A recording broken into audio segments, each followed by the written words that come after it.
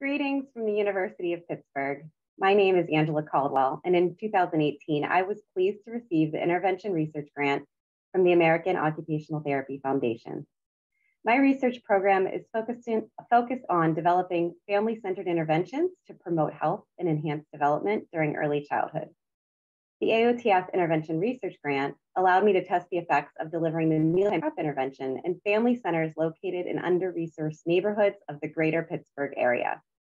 Mealtime prep provides a systematic approach for occupational therapists to coach caregivers to promote healthy dietary variety by enhancing daily mealtime routines with so positive social role models, food exploration, and play.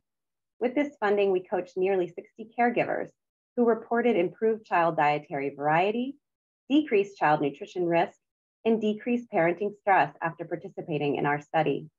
This work provided me with valuable experience engaging stakeholders, training interventionists, and leading a clinical trial that undoubtedly facilitated my success in obtaining an early career development award to design a new intervention to promote health among young children with Down syndrome who face high risk for childhood obesity.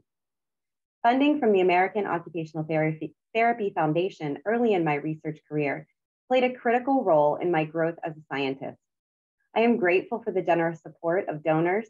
And with Giving Tuesday right around the corner on November 29th, it is a great time to make a donation to St. Catherine's Challenge and the Intervention Research Grant Program at AOTF.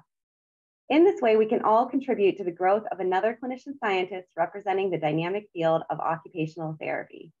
Thank you for your investment in occupational therapy research.